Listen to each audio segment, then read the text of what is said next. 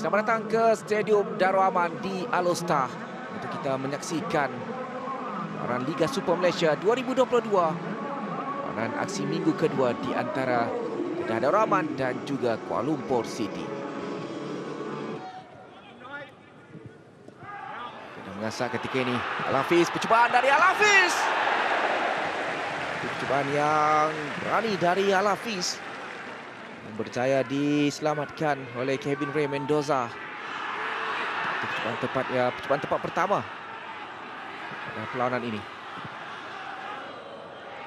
Desi Marcel untuk Al-Hafiz. Cari ruang ketika ini Al-Hafiz membuka kepada Syazwan Zainon. Masih lagi Syazwan cuba masuk ke dalam kawasan penalti. Jaya disekat oleh Kamal Azizi. Dari Azmer antara ke tengah. Peluang tandukan dari Syafiq Ahmad. Jadi rakan yang nyamuk. Desi Marcel satu serangan uh, menarik untuk disaksikan oleh Kedah. Bermula dari Azmer, cari Syafiq dan Desi Marcel. Positioning.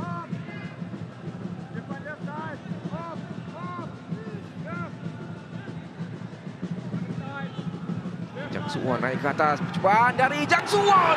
Oh. Paksa ditepis keluar oleh Kevin Ray Mendoza. Satu lagi percubaan tepat yang berjaya dilakukan oleh Kedah Darul Aman. Tidak berjaya untuk mendapatkan rakan-rakan di bahagian atas.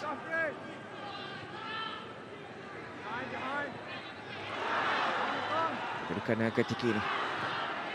Oh, berjaya lepas peluang ketika ini untuk Kedah. Percubaan diselamatkan Kevin Mendoza dengan susulan yang gagal disempurnakan oleh Syafiq Ahmad. Ini peluang dua percubaan tepat sebenarnya dilakukan oleh Kedah. Dari Azmer dan dari Syafiq. Antara dari Paulo Zozwe.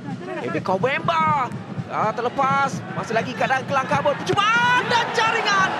Akhirnya jaringan berjaya dihasilkan KL City. Yahya. Jaringan kedua pribadinya musim ini. Selepas meledak uh, di jeras malam ini sekali lagi. Dia menghasilkan jaringan pembukaan untuk serangan pertama buat KLCD di separuh masa yang pertama. Azmer, hantaran dari Azmer mencari Ngawanja. Belakan pada Al-Hafiz. Hantaran semula mencari Syafiq Ahmad. Oh! Satu jaringan yang cukup baik dari Syafiq Ahmad. Dia mencari ruang, mencari peluang dan menyempurnakannya dengan sempurna untuk Kedah menyamakan kedudukan dari Syafiq Ahmad. Jadi Syafiq Ahmad menyamakan kedudukan untuk Kedah yang ke-32. Dia menyempurnakan umpanan yang cukup penting, cukup baik dan jaringannya memastikan Kedah kembali menghidupkan peluang untuk menangi perlawanan ini. KST melakukan gerakan dari Hadin Aldin dia cuma melakukan percubaan. Berjaya ditampan oleh pemain pertahanan Kedah. Ini Ryan Lambert. Percubaan dari Ryan Lambert tekan kepala. Oh, satu percubaan yang cukup baik. Dari Ryan Lambert. Percubaan kedua dari KL. Satu jaringan dan satu terkena palang. Sambil itu sekali lagi Zafri untuk Kevin Komemba. Kevin Komemba. Uh, kali ini percubaan tepat yang dilakukannya. Saya ditepis keluar oleh Syarif Sari. Ini barulah percubaan pertama dari Kevin Kovemba yang berjaya menemui tepat. Serangan penjiru dari dari tepisan yang baik dari Kevin Ray Mendoza. Sekali lagi Syafiq Ahmad lakukan tandukan. Kali ini tepat sekali lagi. Namun Kevin Ray Mendoza Eh, saya rasa wajar kerana uh, jika anda um, push terlalu terlalu lama uh, kemungkinan kecederaan akan uh, lebih. Uh, sambil itu Fayad Zulkifli kemasukannya menghasilkan jaringan untuk Kedah. 2021 dia masuk menghasilkan jaringan untuk Kedah. Sekali lagi pada tahun ini 2022 Fayad Zulkifli masuk dan menghasilkan jaringan kedua untuk Kedah jadi Kedah mendalui KL City. Menerusi Fayad Zulkifli, pemain yang baru dibawa masuk. Sentuhan pertama terus menghasilkan jaringan. Satu permulaan yang cukup sempurna bagi Fayad Zulkifli. Jadi 2-1 ketika ini. Ayat untuk Syafiq Ahmad masih lagi dalam permainan. Kalau yang baik dari Syafiq Ahmad. Kedah mengasah ketika ini Syafiq tolakkan ke tengah peluang ketika ini untuk Daniel Bucuring. Gol ketiga untuk Kedah. Segala-galanya nampak semakin sempurna bagi Kedah.